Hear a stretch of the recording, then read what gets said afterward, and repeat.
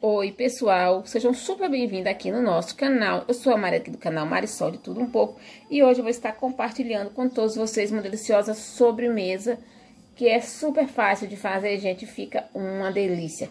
Hoje eu vou estar preparando uma sobremesa com gelatina, tá? Então, quais os ingredientes que eu vou estar precisando para essa minha sobremesa? Eu vou estar precisando aqui, gente, de seis gelatinas, tá? Sabores diferentes uma da outra, certo? Eu vou estar precisando de uma gelatina incolor sem sabor, suco de maracujá concentrado, duas caixinhas de creme de leite, uma caixinha de leite condensado e os outros ingredientes que estão faltando eu vou estar mostrando durante o preparo dessa receita, ok?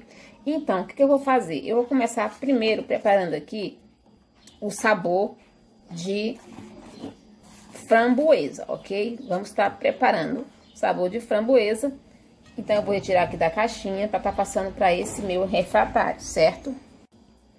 Olha, feito isso, agora eu vou estar tá colocando aqui 500 ml de água quente. Eu não vou estar tá utilizando água fria, conforme as instruções do fabricante, não, ok?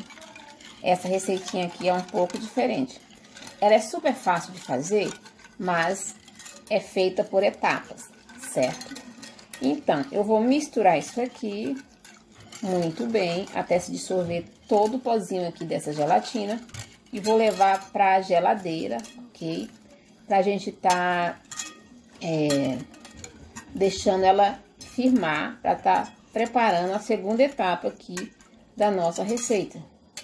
Eu acho que eu vou ter que tirar desse recipiente porque, como são três camadas, eu acho que não vai dar tudo. Então, gente, eu vou fazer isso aqui e já vou estar voltando para a gente estar preparando a segunda etapa aqui da nossa gelatina. Ou melhor dizendo, da nossa receita, ok? Oi, gente. Voltando aqui, a minha gelatina já está firme, ficou 30 minutinhos na geladeira, certo? Aqui eu tenho a minha gelatina incolor, que já está hidratada, está prontinha. Agora vamos preparar aqui, dar continuidade à nossa receita na segunda etapa aqui, ok? Então, vamos lá, gente. Vamos lá, gente. Olha só, eu vou começar aqui, tenho aqui o meu liquidificador. Vamos colocar o nosso leite condensado, certo?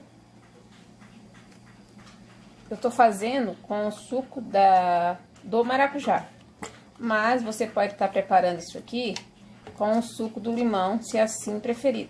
Fica muito bom também, certo? Use a sua Criatividade, gente. É muito fácil. Agora é só colocar isso aqui, olha. Tinho. Vamos colocar aqui o nosso suco de maracujá. E vamos colocar aqui a nossa gelatina. E vamos bater isso aqui bem legal, tá?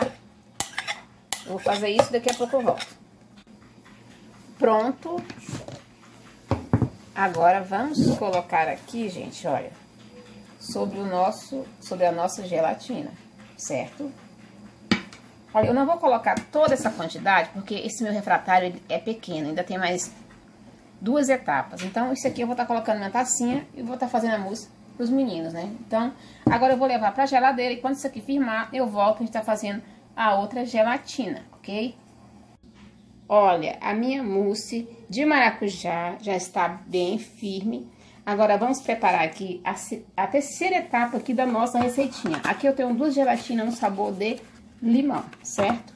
Eu vou estar tá colocando aqui, gente, 500 ml de água quente, certo? Eu não vou estar tá utilizando água fria, conforme as instruções do fabricante. Aí, o que, que eu vou fazer? Eu vou misturar isso aqui muito bem e vou esperar esfriar pra gente tá colocando por cima aqui do nosso creme, certo? Não pode colocar quente, senão desanda a sua receita, ok? Olha, a nossa gelatina aqui já está bem firme, tá? Agora, vamos estar preparando aqui a última etapa aqui dessa receitinha, tá, gente? Então, vamos lá.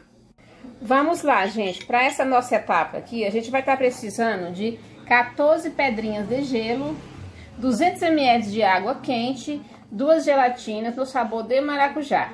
Lembrando que você pode estar tá usando o sabor que você preferir, que você gostar, certo? E vou estar tá precisando de uma caixinha de creme de leite. Então, vamos lá. Vamos fazer isso aqui por etapa, gente. Para começar, eu vou estar tá colocando aqui a minha gelatina, certo? Que, que eu vou fazer agora? Eu vou colocar os 200 ml aqui de água e vou bater por dois minutinhos, tá? Visto que eu já bati por dois minutos, agora eu vou acrescentar aqui uma caixinha de creme de leite, certo? E vou bater novamente por um minutinho, tá? Isso aqui é por etapa, tá, gente? Eu vou bater e logo estarei de volta. Eu já bati, agora vamos fazer o seguinte aqui, gente. Vamos colocar aqui uma parte do nosso gelo, tá? Opa, eu fazendo bagunça aqui, né? Agora eu vou levar pra bater novamente, certo? Olha só, gente, eu dei uma batida, certo?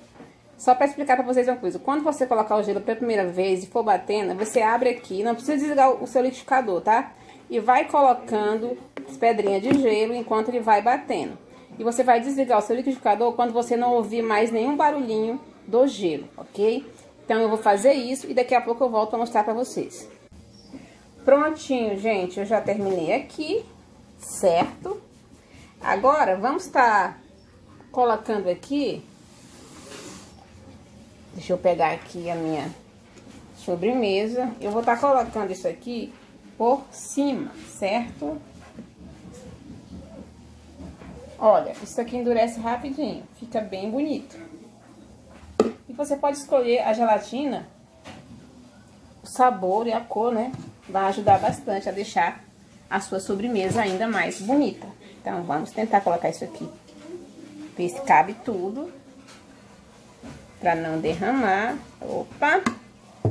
Olha, gente, feito isso aqui, tá? Agora, vamos levar pra geladeira pra ficar firme, tá? Aí, depois a gente volta pra tá finalizando aqui a nossa sobremesa, ok? Oi, gente, voltando aqui, a minha sobremesa já está prontinha para ser servida, certo? Ficou uma hora na geladeira, mas você pode deixar um pouquinho mais, ok? Mas já tá super, super prontinha mesmo. Agora eu vou estar tá tirando aqui um pouco para estar tá mostrando para vocês, certo? Eu vou ver se eu consigo tirar aqui, pegar uma colher, né? Vamos lá, gente, vamos lá. Vou tirar um pedaço aqui bem legal. Vamos ver. Vamos lá tirar aqui esse pedaço para estar tá mostrando para vocês a nossa sobremesa. Como ela fica legal, gente. Opa, deixa eu arrumar isso aqui bem legal. Olha que bonito, gente, que fica ficar muito legal. E dependendo do seu refratário, vai ficar ainda mais bonito. Se você fizer naquele quadrado, dá para aparecer bastante, né? Esse aqui não dá para mostrar muito, não, pelo formato dele. Mas esse aqui tá muito saboroso. É uma receita super fácil e o sabor é bem suave, tá, gente? Bem suave. Muito saboroso mesmo. Ficou parecendo... Ficou bem colorido, né? Ficou legal pra caramba. Olha isso aqui, gente. Que delícia. Agora eu vou estar tá provando aqui um pouquinho dessa minha sobremesa deliciosa. Olha, gente, essa sobremesa é uma delícia. Façam aí na casa de vocês, que eu tenho certeza que o sucesso é garantido. Porque é uma sobremesa que tem um sabor assim bem suave, bem delicado, muito bom mesmo, ok? E é uma ótima opção de sobremesa para o seu final de semana, enfim, para aquele churrasco, você está servindo depois do churrasco, olha só que legal, né? Uma sobremesa bem legal. Embora ela seja feita por etapa, é super fácil de fazer, gente, não tem segredo nenhum, é muito fácil mesmo. Então, fica aí a dica da Marisol, tá? Uma dica de sobremesa com gelatina, super fácil de fazer, muito prática.